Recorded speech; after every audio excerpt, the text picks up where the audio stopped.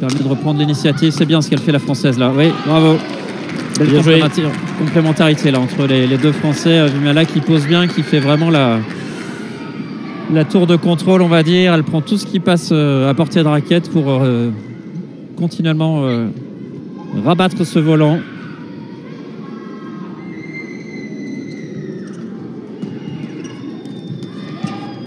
Ouais, voilà, elle facilite euh, les choses pour Fabien qui euh, bah, permet euh, la conclusion du point pour, euh, pour Fabien qui trouve toujours des bonnes zones, généralement entre le garçon et la fille là en face.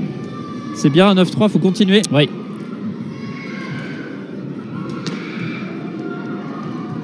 Ouais, beau service. Oui, superbe.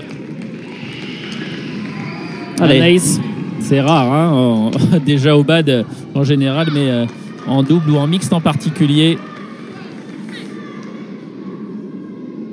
C'est bien, elle prend son temps, elle se concentre bien, Vimala, et elle sert bien depuis le début, à part une petite faute. Ouais, elle les attend, elle est bien placée, elle sent le jeu, c'est parfait. Bravo, les Français, 11-3. Ah, ça pouvait pas commencer mieux, Cédric, là, sur euh, ce premier match pour les Français. Éventuellement 11-0, mais bon voilà. On va pas non plus euh, trop en demander. C'est. Carême euh, qui arrive à donner euh, quelques consignes supplémentaires euh, si nécessaire. Mais bon, là, je crois qu'ils ont vraiment pris le match par le bon bout. Côté indonésien, c'est euh, un visage connu, hein, Vita Marissa, ancienne légende du double dame. qui leur En demande de, piquer, euh, j'ai l'impression, de mettre un peu plus d'impact dans les premières frappes. C'est vrai qu'ils sont un peu dans un faux rythme, hein, les Indonésiens. Tant mieux pour les Français. Mais elle va peut-être les secouer un peu, leur demander euh, certainement d'être euh, plus Oui, incisif. actif et plus, ouais, plus incisif. Après, voilà, il y a 8 points d'écart. Alors, ça peut se remonter parce qu'on sait que ça peut aller très vite sur un match de badminton. Mais euh, là, l'écart est quand même euh, bien fait. Si les Français arrivent à, maintenir tout cela et, prendre un départ euh, correct, bon, ça, devrait faciliter grandement la tâche. Au moins pour cette première manche.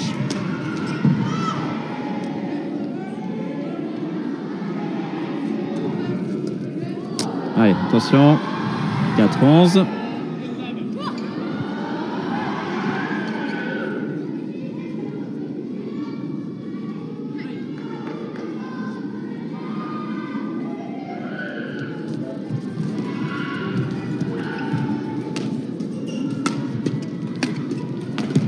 Ouais, bonne pression. Et au fur et à mesure qu'il tape dans le volant, il avance. Et ça donne une pression supplémentaire. Ouais, il est très bon en général sur ses enchaînements, euh, Fabien, là. Allez, c'est bien, les Français, 12-4.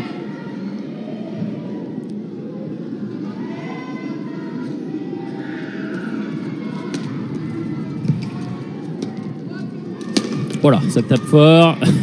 Quand ça part, côté indonésien. Ouais, les Indonésiens qui cherchent à prendre l'attaque un peu plus tôt, être euh, posés davantage, pousser pour euh, forcer un peu plus les Français à relever. Et, et ça donne ça. Donc il y a danger, évidemment, hein, quand ils sont en position offensive, c'est normal.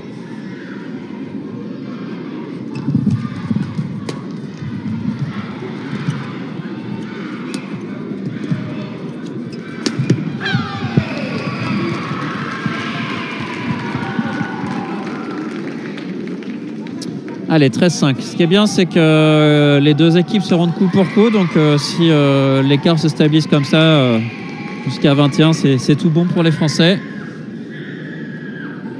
Beaucoup de transpiration.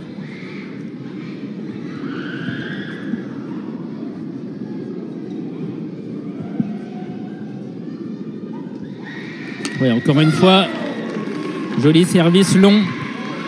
Elles en usent, euh, elles en abusent, euh, les joueuses françaises. On avait vu Anne Tran aussi euh, sur son mix qui avait beaucoup servi haut. Oui. Et euh, c'est efficace en tout cas pour ce début de match pour Vimela.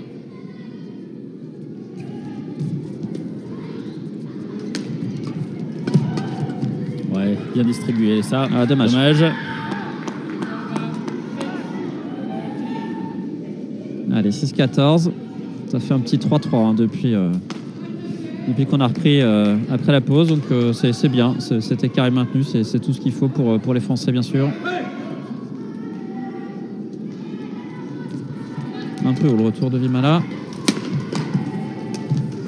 Ouais, c'est bien ça. Dommage, un peu long. C'était pourtant là qu'il fallait le mettre. Allez, 7-14.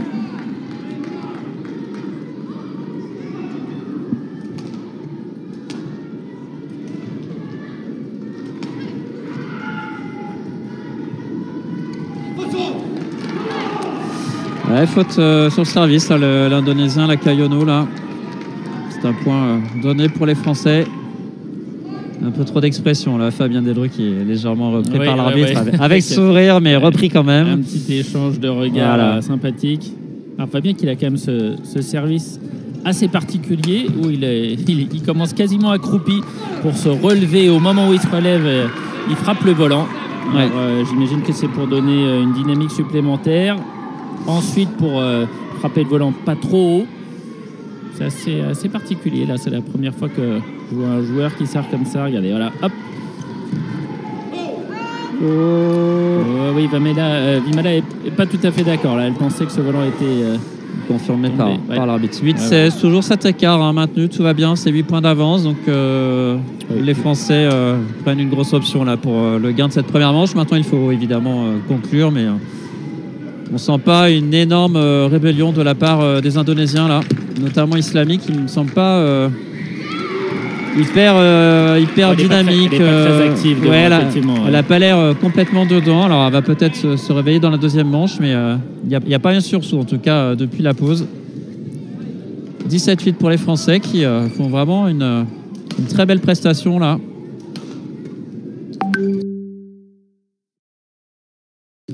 Très bien servi encore de la part de Vimala qui, comme Fabien, l'a fait un très bon match. C'est solide sur les premiers coups et c'est évidemment ce qui permet de se mettre sur orbite dans l'échange. 18-8. Allez.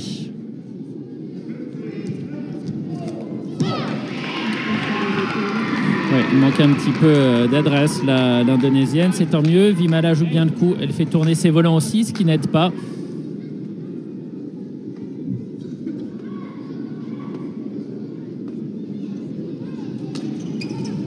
Dommage. Un petit peu pour le service. 9-19.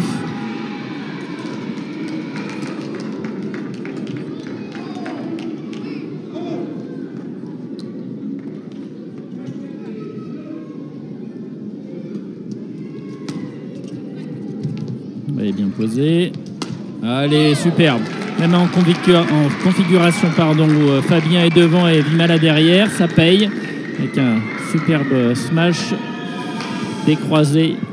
C'est un premier set euh, très très rapide. Là, on a vraiment, euh, depuis euh, le début de la compétition à 15h30, des matchs plutôt rapides. Donc Ouais. euh, tant mieux si c'est en faveur des Français. On va Et pas voilà. bouder notre plaisir, mais c'est propre.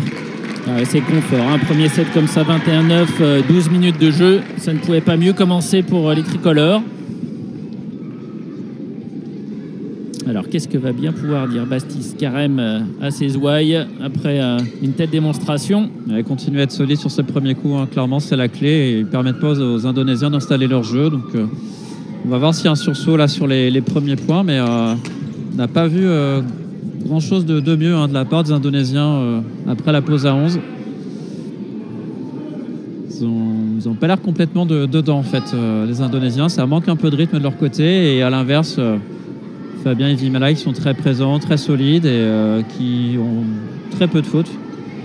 Donc forcément, ils mettent pas, euh, laissent pas la possibilité aux Indonésiens de, se mettre euh, réellement dans le match. Donc tant mieux.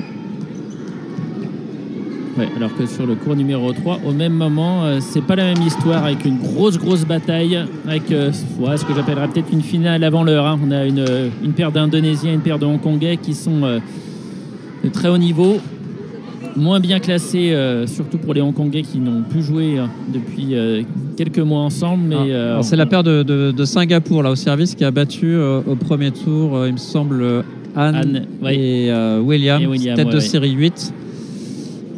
Euh, défaite vraiment de peu, 21-19 au troisième set pour Anne et, et William. Et on- quand on voit ça, on se dit que voilà, ils avaient la possibilité certainement d'aller très loin aussi dans la compétition. Bon, Ouais. C'est comme ça, on va pas refaire le match. Les Singapouriens qui sont quand même titulaires d'un titre en Super 500, ce qui est peu dire. Allez, reprise sur euh, secours euh, numéro 1, Vimala au service sur Kayono. Allez, tout de suite dedans. Il prend la bande euh, sur le retour. Grosse pression de la part de Kayono. 1-0 pour les Indonésiens.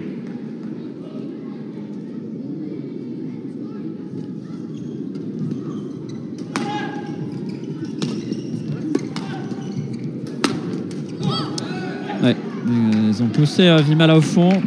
Ils insistent un peu plus sur. euh, mettre un peu plus de pression sur, euh, sur Vimala et Rio, là, en tout cas sur ce, premier échange. Là, t'as bien vu que Kayono cherchait plutôt à, impressionner Vimala, si c'est possible.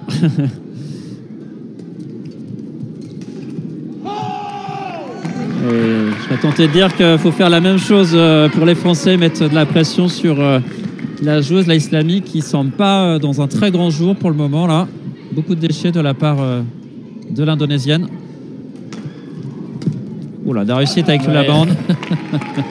Ça fait plusieurs fois là que Vimala euh, joue avec la bande.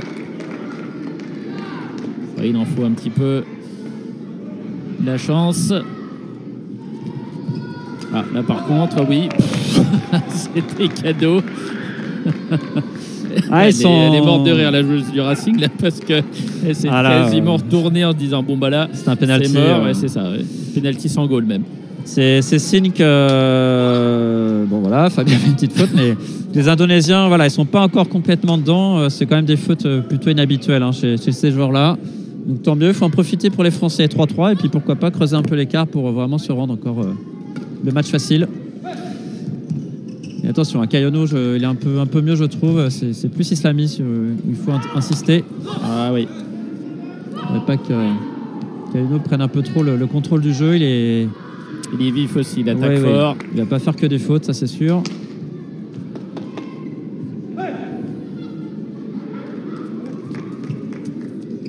Oh là là, décidément, le filet, on voit qu'on joue à la maison. Hein. on ne Ouais. sait pas si. euh, Soit qu'un tirage euro million Ouais. sort, il peut peut-être jouer euh, une grille, euh, Fabien là, ouais, Peut-être bien. ouais. ou au loto ou autre. mais- Allez, 4 partout, c'est bien. Au moins le, le le score euh, est stable. Ça reste serré.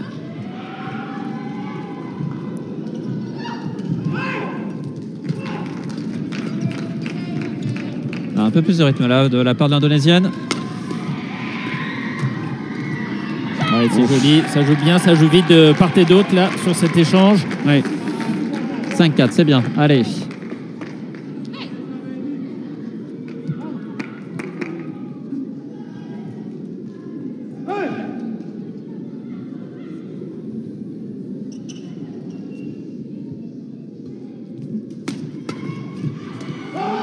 Elle a été un petit peu surprise de voir euh, ce volant revenir dans sa raquette là, Islami, alors que son partenaire avait fait euh, de grands gestes devant elle au filet, mais euh, sans toucher le volant.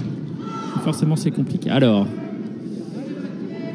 Qu'est-ce qui se passe? Je sais pas. Alors si, si, si. En fait, ce qui se passe, c'est que Fabien euh, montre le point très régulièrement Ah, et il n'a pas le droit de le faire en face de ses adversaires. Il faut qu'il se retourne. Donc c'est ce que lui a indiqué l'arbitre. Oui. Pas, pas donner le sentiment d'agresser entre Voilà. guillemets euh, l'adversaire. Ah, un petit lob Ouais, en sont- bonne et due forme, superbe. Ils sont un peu perdus là, les Indonésiens là sur deux coups de suite là, c'est ça a l'air compliqué là. Je sais pas s'ils vont rejouer ensemble, mais en tout cas c'est pas c'est pas une entente parfaite. Je pense qu'il y a des il y a des automatismes en tout cas qui sont pas encore parfaitement là et, et sur ce match là il y a ah, s'ils livrent pas une prestation exceptionnelle, tant mieux pour les Français. Hein. Profiter un peu des fautes adverses, ils jouent juste, faut qu'ils continuent tout simplement. C'est pas c'est pas de leur faute si euh, leurs adversaires sont pas euh, parfaitement dedans. 8-4. Petite coupure euh, demandée par, euh, par Kayono là, pour essuyer le, le grip. Ah ouais, pour l'instant, ça, ça, Ça se passe bien, ouais, hein. ça se passe très bien là.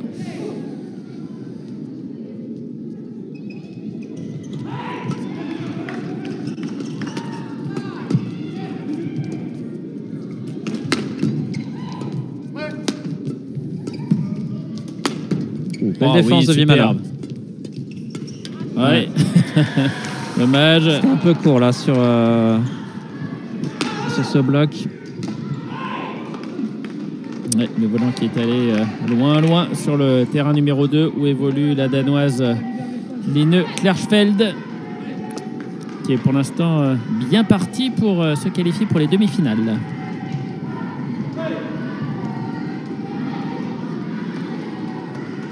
Allez, plus 3 toujours pour les tricolores et encore cette bande. euh, Ah, il est précis. Hein. Ouais. Oh là là là là.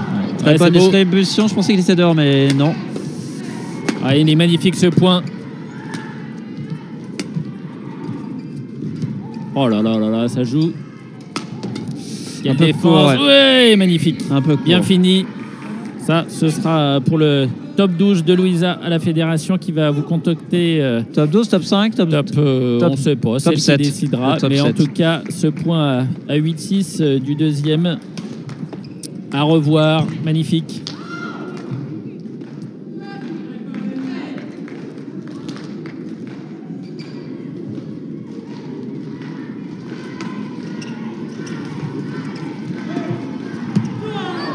Oui, un petit peu Ouais, de il chance. était dehors. Il était dehors, effectivement, un peu d'intox pour les Indos qui espéraient voir ce volant dedans, mais il est, il est bien euh, dehors. Ouais.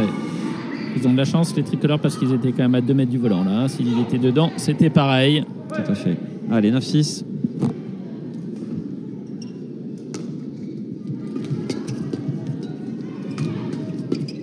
Bien vu. Ouais. Ah, ce sont des volants qui paraissent pourtant pas très difficiles à négocier là. Euh, Ouais, il manque un petit, un petit truc là, côté indonésien. euh.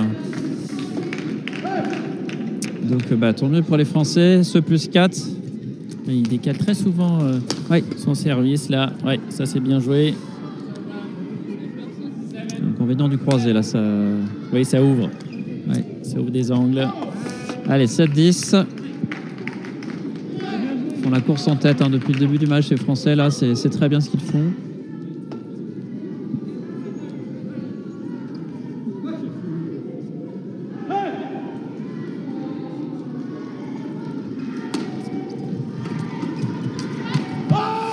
Ouais. Et 11-7, c'est bien.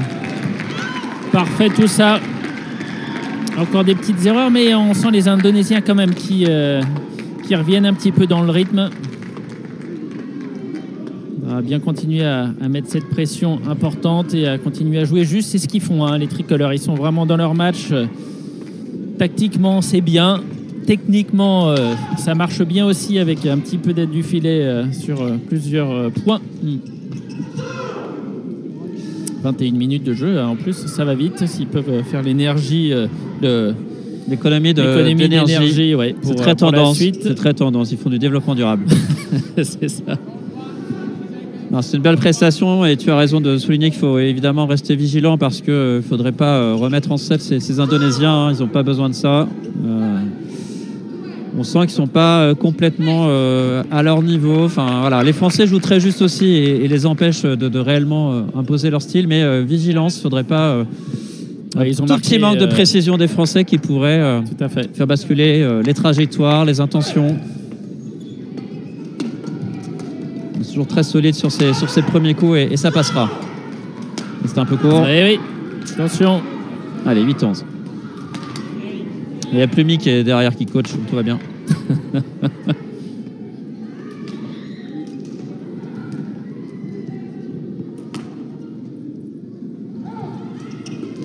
Attention là, oui. Petite faute euh, des Français, 9-11.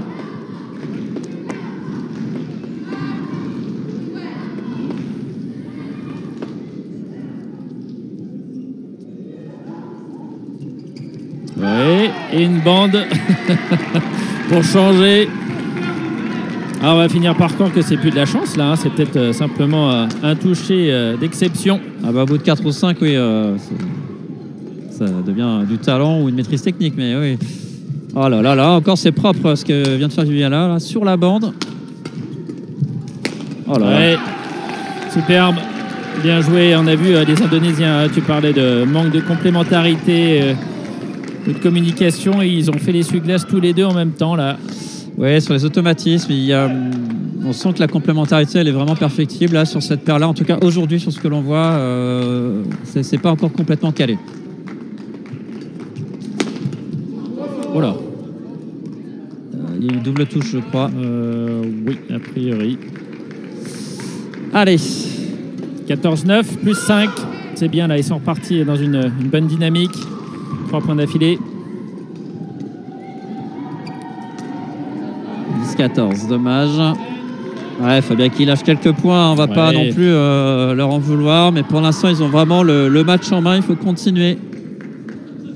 Maintenir euh, une petite marge là.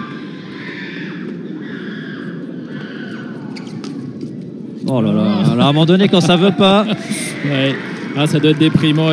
Il en sourit, Fabien. Et Caillonneau aussi.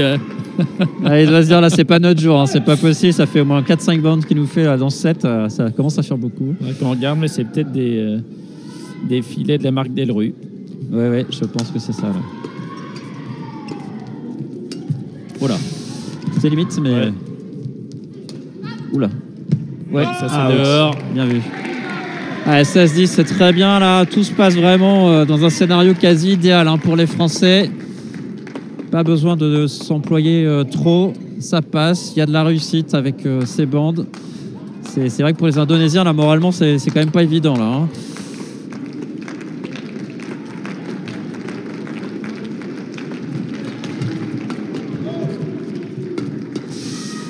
Ouais, Ouais. c'était un peu court là. Vimala qui s'est fait intercepter euh, entre autres par, par Islami. 11-16.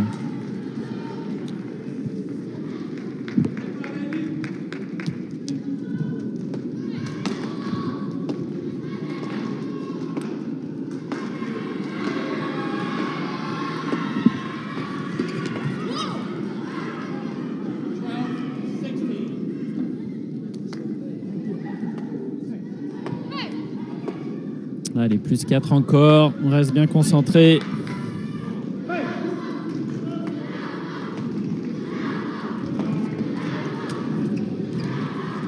Ouais, c'est bien, ça juste posé, sans prendre de risque. Voilà, c'est parfait. Quelle maîtrise du filet pour euh, la parisienne. Ouais, ouais, on a vraiment le sentiment que l'issue elle ne peut qu'être en faveur des, des Français. On sent pas euh, Il n'y a pas un gros danger en face. un sursaut d'orgueil. Et puis c'est vrai que les Français calment tellement les ardeurs des Indonésiens que je dis pas qu'il y a un renoncement hein, de la part des Indonésiens, mais bon.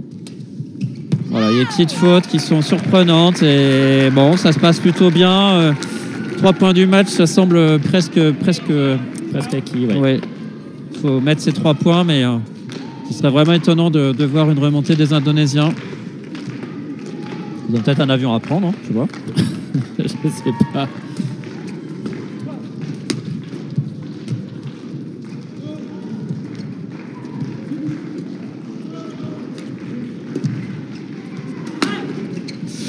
Ouais. Un peu. Un peu facile euh, pour euh, Islami, mais c'est bien conclu. Allez, 13-18. Ouais, là, on a vendangé quelques-uns au premier set. Au moins, là, ça passe. Il joue quand même mieux au deuxième qu'au premier, mais euh, c'est Bah, en même pas temps, ça. euh, Ouais, c'était- compliqué de faire pire, effectivement. quelques absences. Bonne défense. Ouais. Ouais, c'est propre tout ça. Ah la bande a choisi son camp, visiblement.